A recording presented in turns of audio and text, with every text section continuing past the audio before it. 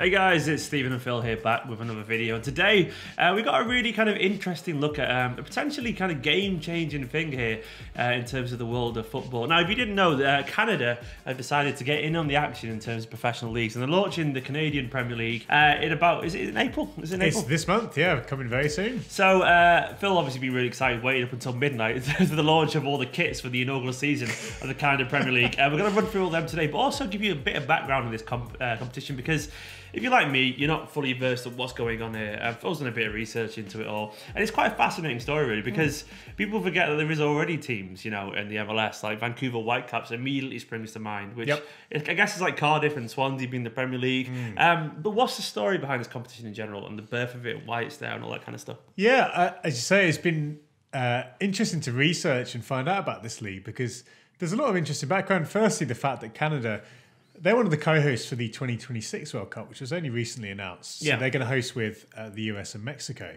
So basically, as part of that, in the build-up to that, they've actually thought, you know what, we need a professional league. You know, credibility gonna, thing, really, isn't it? Absolutely. If we're going to develop, you know, develop the national team and and right down to the grassroots level, it makes sense. So the Canadian Premier League is essentially geared towards that. But I really like a lot of the things they're doing. So um, you know, this is a relatively small pool of teams at this stage. It's only seven, seven teams. yeah. yeah. apparently there was an eighth which pulled out at last minute. But, but what I really like, and I've had some conversations with people, some fans over in Canada.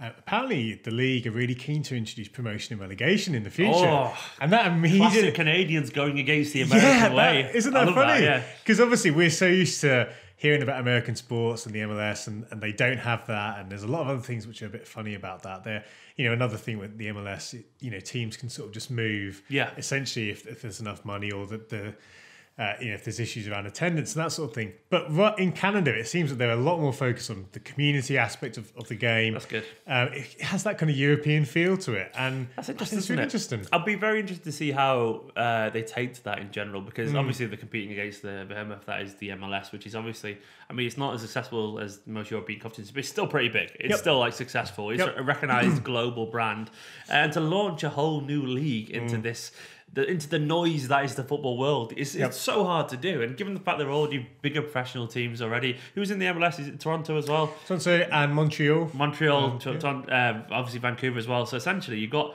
uh, three giant uh, Canadian football clubs already. Mm. So they've got to go against that. But anyway, they have done this. It'd be very interesting to see how they actually uh, get on with this and how it transpires because it's a fascinating concept for a league just mm. to be born out of nothing, literally out of dust one day. And yeah. there's seven teams. Are they all new teams? Uh, I believe most of them are new. Yeah, yeah. I think I think maybe Edmonton is one that already well, existing. What we'll do is we'll go through some of these kits because that's what are all here for anyway in the first place. Let's yep. be honest. We're going to start with HFX Wanderers or Halifax Wanderers. Uh, now, the first thing you need to know is that all these kits have been designed by Macron, similar mm-hmm. to the MLS, who uh, all the kits are designed by Adidas. Yep. Uh, Macron have got their little Macron mitts all over uh, this league, uh, and this is their home kit, their first ever home kit. Is that right? This is That's a new team. Correct. Yeah. What do you make of this, Phil? Really good. I think these two kits are probably probably my favorite actually um, of, of all teams. I mean, just in terms of the the branding actually in general for all the teams and the league is really good. And as you say, Matt could have made all the kits, and this yeah. is a really good kit. Um, in terms of just you know, all the designs are unique. That's one thing to note, mm-hmm. but not just unique. There's some really good stuff. I love uh, with these two kits. You'll notice that crest there, which is an interesting design.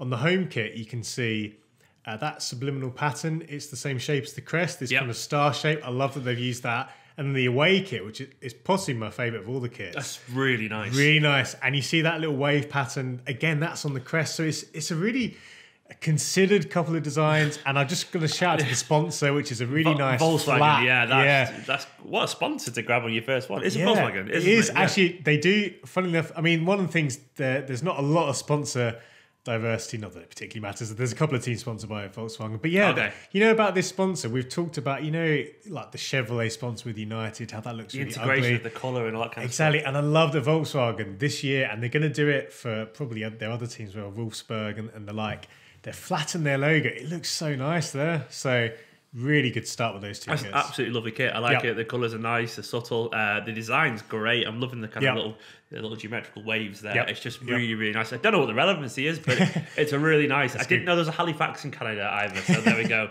Um, we go. Anything like Halifax over here. Uh, More of that to come with a couple of the other teams as well. Indeed, we'll go on York. to York. There we go, straight into the deep end.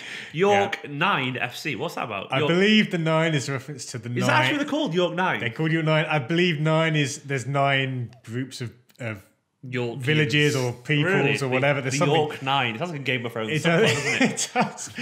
It does. This one is a really interesting design. It's design. mad design. It's It pretty mad. It looks It- like a mashup kit, doesn't it? yeah, it does. It does actually. Yeah, that, Maybe they've gone into the future and pulled back a mashup kit of all the kits they're about to make.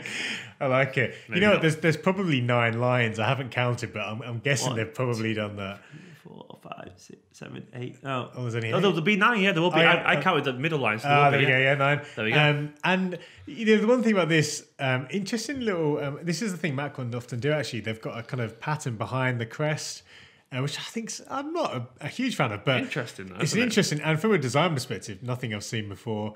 I'd like, you know, we I talk. like the logo actually. Yeah. it's a bit pro evolution, but it's like yeah, I don't know why I like it. Yeah, it's quite cool, and I think the away kit less interesting, but it's still, you know, end so MLS that I don't know why it reminds me. It reminds me of like something Houston Dynamos would have if they had that colour. Yeah, yeah. I think, I think that yeah, no, this is a, a much more sort of kind of classic design, but uh, again, uh, it's a unique design. And the one thing actually, the Mac one as the sponsor is quite interesting. Well, what I like about that, I Yeah. was just thinking then, is because it's their own kit and because they got their own professional, professional, ah, professional pride, they'll blend their colours of the kit into it to match it because they won't, they won't put like a, a garish Absolutely, logo. absolutely, So- and it's uh, yeah, it's not kind bad, of though. Ma- Macron FC. I think it is a bit Macron like FC, yeah. that, you know. But you know what? Like again, compared to a lot of kits, I quite like it's it. actually it's actually not bad at all. Yeah. It, the home kit's weird, but I didn't. I wish the pattern carried on around the back, but Oh know, yeah. it's a shame. Well, uh, if you've watched any of my videos, you'll know that's a classic gripe. a big bugbear But, for Phil Delves. Uh, no, good after kits. that, we've gone to Oh, Forge yeah. FC. Now, Oh, if anyone's got anyone who's ever moved to Canada at any point, and Phil's got a story about this, I have both our better halves have both gone, oh, I miss Tim Hortons. Yeah. Essentially, my girlfriend lived in. Um, Canada, Phil's wife lived in Canada for a little bit, um, and they all basically just missed Tim Hortons. so this is now my by proxy my favourite team uh, in Canada. Absolutely. Forge FC. Where's Hamilton? Never heard of Hamilton, uh, I think it's in Ontario. Why is it? why are Um, they called Forge, not Hamilton? I believe that Forge is a reference to the kind of steel industry or the kind of the industry um, Oh, so leg- well. legacy. Yeah, and and you'll notice that actually carried on into the pattern of the shirt with, I believe they're supposed to be little sparks, I quite like it. uh, which is cool. I even just like orange. I Yeah, don't know why. yeah. Why is orange just such a bold? No, I agree. I think I mean there's a little hammer on the back of the shirt there, which I think is really Oh, like really that. sweet. You know, lo- lovely Oh yeah, little you're right. hammer. Little spark things. And, I, um, I like the detail in these kids. well, Well, you know- little patterns are nice. Yeah, exactly. And the crest design is fantastic. Yeah. um, really lovely kind of angular design. What's it ma- Matches yeah. really well with the, the Macron logo. So is that a H? Actually? I believe it is uh, H for Hamilton, I guess. I'm assuming there's a there's a, supposed to be an FC in there for Ford. I- I'm not quite sure, but Yeah. but the away kit is um, similarly got this kind of pattern, mental, a little bit it? more crazy. It looks like Um, um, stonework. it does, yeah. It looks like a low texture graphic on a It- Skyrim it- game. You know, like Well, that's the thing. It's this it? kind of like mild, but sort of low low res mild. I love how you from yourself you get all this detail. I'm like, it looks like Skyrim. Yeah, like, I'm yeah. sorry. That's that's But it. I guess I get with the- the hammer as well. know, Yeah. fair. fair. But I like. I think it's just because it's got the Tim Hortons factor to it. And, Well, you know and they, they play the Tim Hortons. They right? play Yeah. at Tim Hortons Field. I mean, come on, what so we've got Macron? FC, Tim Hortons FC. Uh, I like Forge though. These are these are fun. These kits though. They are. that, They are fun. They're They fun. fun. Um, which is you know I guess it's so nice to see some refreshing fun Mm. kits. Uh, A bunch of new teams. It's like so you know like when you get Pokemon and like there's a new generation. like I'm showing my nerdy ways. That's It's a new yeah. generation of It's teams. generation. You got to choose your starter. I like that. okay, I'm choosing Forge FC. Yeah, Give me that hammer. Yeah, yeah. They're, they're, they're the Charmander. That's good. Um, this is like a great kit. Valour FC from Winnipeg. Winnipeg's a great name. That's just a great place. It is, I don't know if yeah. it's a great place, but it's in Canada, so it will be. um, this to me looks like a cricket shirt from the 2020 league. Okay. You- Yeah, I that's a don't- good reference, yeah. I'm not really a fan of this personally. Um, Yeah. I can see why someone would like it actually, but I think there's too much going on. These these two kits are probably my least favourite. That's not to say they're bad kits. I think No, there's just not. something. If you look at the away as well, They're a bit messy for me. Yeah, There's a little I- shoulder bit there popping into it. I'm not sure. yeah, exactly, and it a bit kind of dated. I mean that that collar is interesting. I've seen a collar like that on some Hummel shirts. Yeah. it kind of works quite well. But I think for me as well, the sponsor. Um, it sounds silly, but because it's the only kind of white detail on the shirt, apart from the bit on the back as Yeah. well.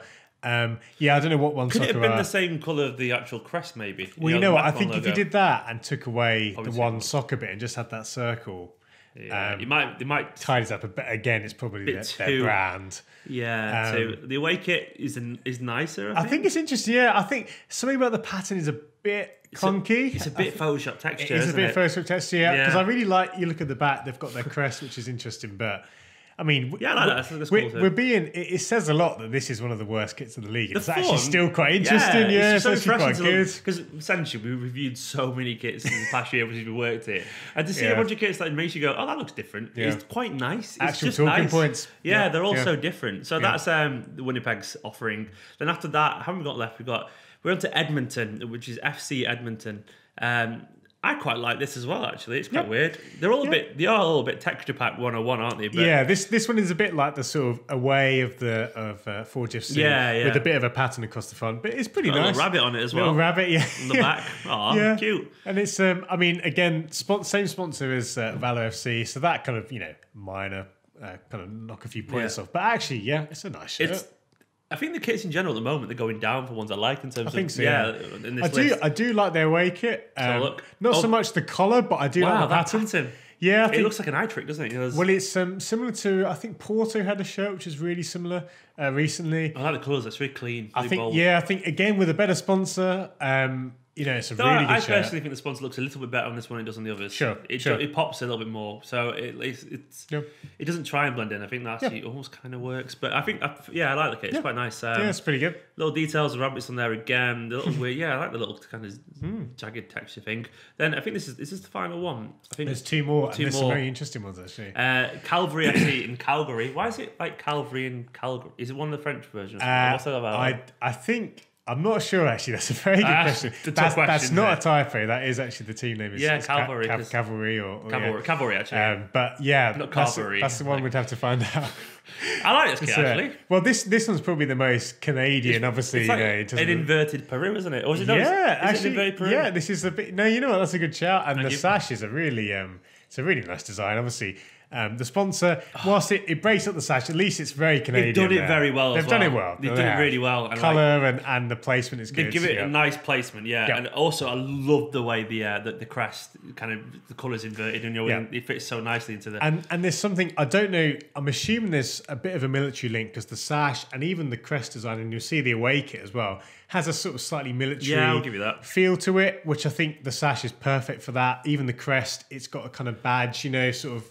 Um, the design of it looks very much in, in keeping with the rest of the shirt. I'm loving this. I've never seen any of these kits before, so it's great going for the Yeah. first time. So this is the away kit. Yep, Oh, I'm not sure. Oh, yeah, it's very this looks it's very camo. Yeah, I'm and not a fan again, of this to be honest. I, I think, think it's a bit. I think it's bad. I don't I don't like these collars. I think you know it's a bit like This um, looks like oh no. but but at least you know at least we're sort of talking about something new again and i think um Yeah. i think the camo the, it was it reminded me a bit of some of adidas's stuff in the mls with the kind of almost glitch camo thing This, this, this going on bad. There's too much going on here to me. For me personally, this is, this is a bad shirt. But I can see it's definitely creative, but yeah it's a bit Homer Simpson when he makes that car. Uh, it's a bit. There's so much going on here. Like, oh yeah sorry guys, Uh, this is the one, I, the only one I've disliked yet. I think so far, but I think it's just the camo texture on a football shirt. right if you like color just prepare for the next one I'm Go just- on, I love colour. but like and um and this So is, this this is is well this is this is what I Vancouver mean. Island, Pacific FC. wow Oh, I like this. there we go this is and this is Got a a little Aquaman trident It's as got well. a trident, and I love this sponsor, even though it was That's the same. class. Really like good that. sponsor, and the away is almost as good. Look if at not, that crest better. as well. Really sharp crest. I don't know. It looks almost like a kind of, you know, like you get like a crystal in the game, or like it's a di- so like, like, a Crash it's so, like- um, yeah, Norse mythology esque. yeah, very, very good. And I mean, the colors are really vibrant, um, and the away is kind of uh, an inverted color scheme as well. Let's have a look at the away. Um, oh, yeah, that's nice. As pretty well. crazy. Um, It's not as nice as the home kit. in my no, opinion, that's the home. I think. I think as a as a combo though, really, really bold. So strong. I'm Really loving that home kit. I think Yeah. it's just such a. The trident makes it. To be honest, Yeah. the trident's Yeah. not on there. It's ten times less interesting. What is the trident about? I guess it's something to do. Well, it's it's a it's a island, isn't it? Actually, yeah, and something- and I think I think it's interesting because you know, despite there being the Vancouver Whitecaps, um, obviously this team is sort of I guess not not stepping on the toes, but they're sort of a a team for so, yeah. exactly and, and kind of serving that wider community and that that's what I like is that a lot of these teams um, there's a few that are in, in big markets some in smaller places there like Halifax we talked Yeah. about but this is great I mean it, if you want sort of the most memorable kits of the league it's these two Yeah, I, I, I quite like the away shirt actually as mm. well. The pattern, the texture is really nice. That Yep. kind of rushed kind of line kind of mm-hmm. thing going mm-hmm. down the blurry. It's nice. I mean, I'm not sure on the collar personally, but mm-hmm. I can. These are all renders, obviously, that we're looking at here as well. I can imagine in person they look a lot nicer than they do in Yeah. actual thing. But these are fun. That is um, a fantastic bunch of kits. Yeah. It's just fun, and, isn't it? and you know Like- what this is this is a lot of people and I've had conversations before they sort of say oh the worst thing about um, the MLS for example is that all the kits are made by Adidas but the problem isn't that they're all made by Adidas it's just that Adidas aren't being as creative as they could be Yeah. so good on Macron for showing that they can, it can be done you don't have to And you know what? have different manufacturers Macron's little thing is really nice as well. It's Yes. kind of logo. So And more really Macron good- kits. yeah they, they rebranded this year didn't they yeah It's always only. Oh yeah, it is. So they, they I think I can't remember what they called it, sort of the, the new hero or whatever, which I thought was great. This kind of quite quite cute little Macron logo, which they've sharpened up and made it a bit more serious, which is good. I absolutely love that. That's a hell of a bunch of kits from the uh, Canadian Premier League, which is launches at the end of April. Um, let us know in the comments your favorite uh, favorite team. Essentially, you got to choose a team, Choose a Pokemon team. style. let us know who you've gone for out of all those teams. I absolutely loved uh, looking at those kits. It was great fun, guys. If you're new to Footy.com, essentially Phil and I sit here and we talk about kits, boots, all that kind of stuff. Uh, pretty much several several times a week, a lot basically, about three or four videos a week usually. So make sure you subscribe uh, if you're just in general talking about football culture and all that kind of stuff. Anyway, my name is Stephen. This is Phil, and we will see you soon.